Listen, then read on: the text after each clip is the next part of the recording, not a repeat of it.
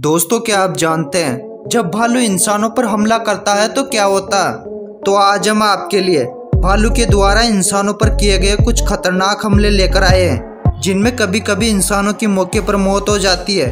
तो वीडियो